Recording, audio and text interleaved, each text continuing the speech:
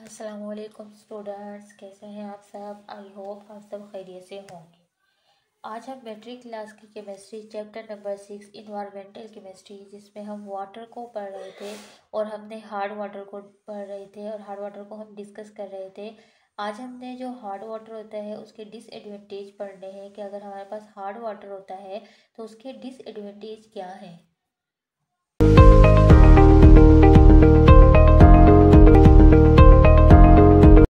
अच्छा आज का जो हमारा टॉपिक है this is disadvantage of water hardness कि अगर हमारे पास वाटर हार्ड है तो उसके डिसएडवांटेज क्या हैं? ये फ़र्स्ट डिसएडवांटेज हम देखते हैं। डिसएडवांटेज का मतलब होता है नुकसान मतलब हार्ड वाटर की क्या नुकसान है? ठीक है ह्यूमन्स लाइफ में भी और हमारी इन्वायरमेंट में भी क्या असर होता है? डिसएडवांटेज क्या होता है हार्ड वाटर का? First is lather formation lather क्या होता है? झाग। ठीक है, झाग का बनना लेथर फॉर्मेशन क्या होती है? झाग का ना बनना मतलब लेथर फॉर्मेशन लेथर के झाग का ना बनना अच्छा क्या इसमें क्या लिखा है? इसमें लिखा है कि जब हम हाँ जब हम हार्ड वाटर में क्या होता है, साबुन को इस सोप को मिक्स करते हैं तो हमारे क्या होता है? झाग नहीं बनते। ठीक है, झाग नहीं बनते, लेकिन एक जो वाइट कलर का जो वाइट कलर के प्रिसिपिटेट बन जाते हैं। ठीक है, नीचे अक्सर आपने देखा भी होगा जो हार्ड वाटर होता है, उसमें जब साबुन को आप क्या करते हैं मिक्स करते हैं तो अक्सर क्या होता है, झाग नहीं बनते, बल्कि वाइट कलर के प्रिसिपिटेट बन जाते हैं। ठीक है, ये जो वाइट कलर के प्रिसिपिटेट बनते हैं ना, उन्हें नाम क्या देते हैं? उन्हें स्कम का नाम देते हैं। स्कम ये वाइट कलर का जो प्रिसिपिटेट होते हैं दिस इज़ कॉल्ड स्कम तो इस कम की वजह से क्या होता है तो फिर जो आप साबुन होती है, उसमें झाग नहीं बनते और कपड़े भी साफ़ नहीं होंगे। जब साबुन में झाग ही नहीं बनेंगे तो क्या होगा? कपड़े साफ़ नहीं होंगे और वो जितनी आप साबुन उसमें मिक्स करेंगे वो साबुन मिक्स करने से क्या होगा कि वो साबुन वाइट कलर का प्रिसिपिटेट बन के नीचे जम जाएगा। ठीक है फ़र्स्ट हमारे पास यही पॉइंट है कि अगर हम हार्ड वाटर में साबुन को यूज़ करेंगे तो वाइट से वो जो है साबुन झाग नहीं बनाएगा, बल्कि वाइट कलर की प्रिसिपिटेट बन जाएँगे। वो प्रिसिपिटेट क्या होंगे? नीचे तह में बैठ जाएँगे, नीचे बैठ जाएँगे तह में। तो हम अगर उसे वॉशिंग के लिए यूज़ करेंगे उस पानी को तो वो क्या होगा? फिर हमारे कपड़े नहीं साफ़ होंगे, ठीक है? झाग नहीं बनेंगे तो कपड़े साफ़ नहीं होंगे। अच्छा जो साबुन के घोलने से जो वाइट कलर का प्रिसिपिटेट जो बनते हैं ना दिस इज़ कॉल्ड स्कम्प ये याद रखना है।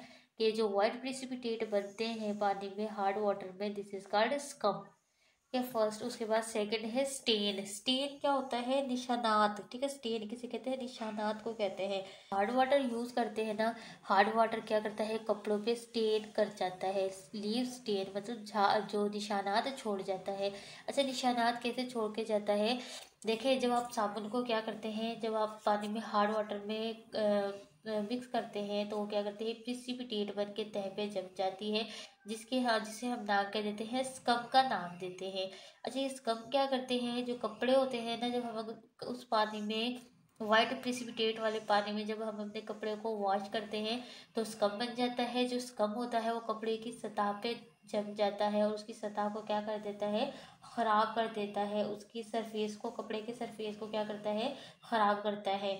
और हार्ड वाटर में फिर क्या होता है, इस कम के निशान बन जाते हैं और कपड़े की जो सरफेस होता है वो भी ख़राब हो जाता है और रफ़ सरफेस हो जाता है, ठीक है? कपड़े जो होते हैं वो रफ़ हो जाते हैं और उस पर क्या होते हैं स्टेन निशानात बन जाते हैं कपड़ों पे, निशानात बन जाते हैं। इसी तरह अगर हम हार्ड वाटर को अपने घरों में यूज़ करते हैं मतलब वो क्लीनिक के लिए यूज़ करते हैं, टाइल्स वगैरह भी शीशे साफ़ करने के लिए भी यूज़ करते हैं तो ये क्या होता है, हार्ड वाटर क्या करता है, निशान छोड़ जाता है, स्टेन छोड़ जाता है, ठीक है?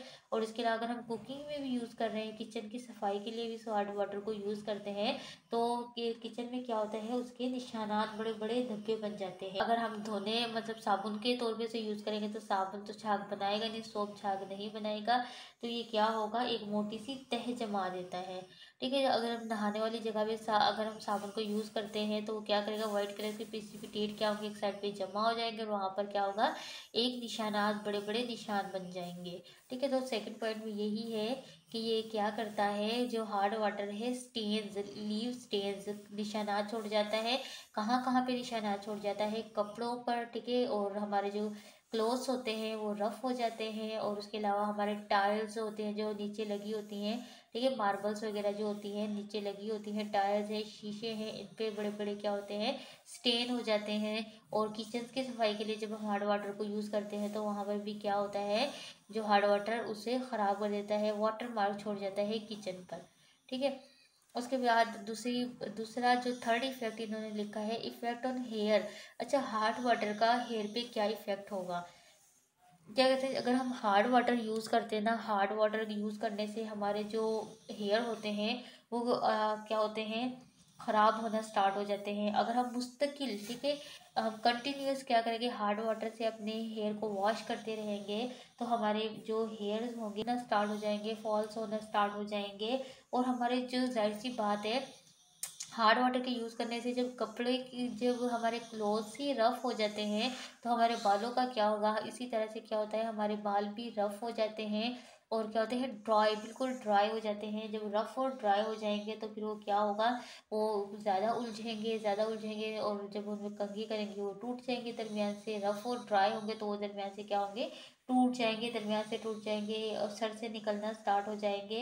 अच्छा ये ज़्यादातर होता क्यों है? ये होता है मिनरल्स की वजह से, क्योंकि हमने पढ़ा है कि हार्ड वाटर में क्या होते हैं? मिनरल्स होते हैं, जैसे कि कैल्शियम के क्लोराइड होते हैं और हमारे पास क्या होते हैं?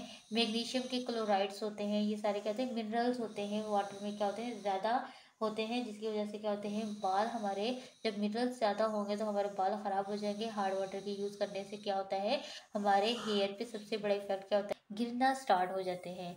ठीक है? उसके बाद है इफ़ेक्ट ऑन स्किन ठीक है? हमारी स्किन पे इफ़ेक्ट क्या होगा? जब हम हार्ड वाटर को मुसलसल यूज़ करेंगे तो हमारी जो स्किन है, वो भी क्या होगी? ड्राई हो जाएगी ड्राई हो जाएगी, और उसके अलावा क्या होगा उस पर ये क्या होगी? हार्ड वाटर के यूज़ से ड्राई हो जाएगी इरिटेटिंग हो जाएगी। इरिटेटिंग मतलब क्या होती है? जिसपे जलन होती है, ठीक है? जलन महसूस होती है। ये भी क्या होती है? हमारी स्किन क्यों ड्राई होती है? बिकॉज़ इसमें क्या होते हैं? मिनरल्स होते हैं जो हम सोप यूज़ कर रहे हैं।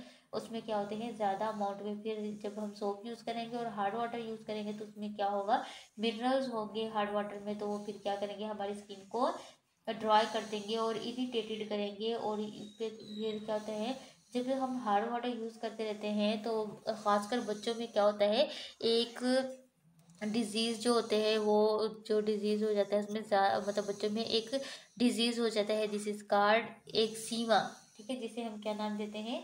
एक्जिमा का नाम देते हैं। ये किसकी वजह से होता है? ड्राइनेस की वजह से होता है। स्किन पे ड्राइनेस होती है और ड्राइनेस किसकी वजह से होती है? हार्ड वाटर की यूज़ करने की वजह से। ठीक है तो हमारी स्किन पे ये इफ़ेक्ट होता है और बच्चों में क्या होता है? बच्चों में इसका सिम्टम्स है एक्जिमा लाइक जो होता है, एक डिज़ीज़ है जो बच्चों में किसकी वजह से होता है? ड्राइनेस की वजह से होता है। ठीक है?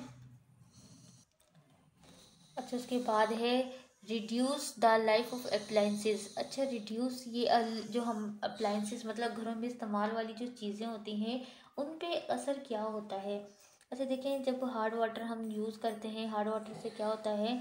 हमारी जब स्किन ख़राब हो जाती है, हमारा जो हमारा किचन है उस पर क्या होता है स्टेन्स हो जाते हैं।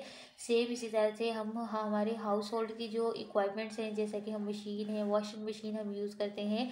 इसके अलावा हम दूसरी मशीन्स भी जो यूज़ कर रहे होते हैं उन पर भी क्या होता है, एक बड़ा असर होता है किसका? हार्ड वाटर का। हार्ड वाटर की वजह से क्या होता है, उनकी जो एफिशिएंसी होती है काम करने की, वो क्या होती है डिस्ट्रॉय हो जाती है, वो इफ़ेक्ट होती है, क्योंकि उसमें जब हार्ड वाटर हम यूज़ करेंगे तो क्या होगा हार्ड वाटर एक तह जमा लेगा मशीन पे, ठीक है? मशीन की फिर क्या होगी? हमारी मशीन जो है, वो जल्दी से ख़राब हो जाएगी। और यहाँ पे इन्होंने बताया है कि अगर जो, अगर बर्तन, अगर हम कोई मशीन लेते हैं, अगर उसकी वारंटी जो है टेन साल है टेन ईयर्स है तो अगर हम हार्ड वाटर यूज़ करेंगे तो वो क्या होगी? सेवन ईयर्स में ही क्या होगी? ख़राब हो जाएगी।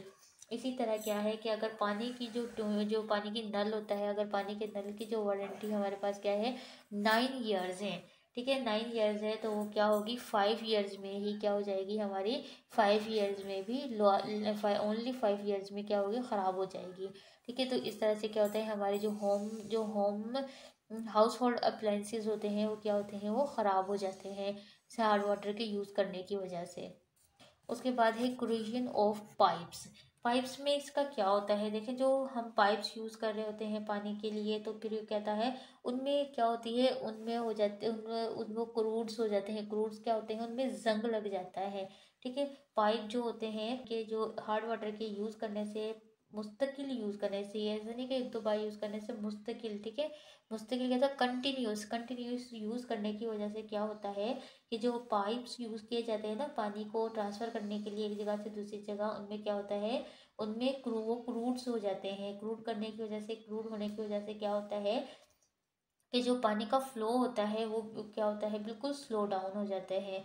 और इसके अलावा क्या होता है क्रूजन की वजह से पाइप जो होते हैं वो लीक हो जाते हैं, लीकेज हो जाती है पाइप की, जिसकी वजह से क्या होता है, पानी जो हम, पानी होता है वो एक तो उसका फ्लो कम हो जाता है, उसके अलावा पानी क्या होता है, नीचे गिरता है और हम मतलब और वो कम मकदार में दूसरे लोगों तक पहुँचता है। ठीक है तो ये भी एक इफ़ेक्ट है किसका, हार्ड वाटर का। ठीक है, किस पे, पाइप्स पे, के पाइप्स पे क्या असर होता है। ठीक है आज हमने डिसएडवांटेज ऑफ़ हार्ड वाटर पढ़ा है। आई होप आपको ये वीडियो समझ आ गई होगी। अगर इससे रिलेटेड कोई भी क्वेश्चन है तो आप मुझे कमेंट्स बॉक्स में कमेंट करके पूछ सकते हैं। अगर आपको मेरी वीडियो अच्छी लगी है तो मेरी वीडियो को लाइक करें। और अगर मेरे चैनल पे न्यू है तो मेरे चैनल को सब्सक्राइब करें और बेल आइकन के बटन को लाजमी प्रेस करें, ताकि आपको आने वाली हर नई वीडियो का नोटिफिकेशन मिल सके।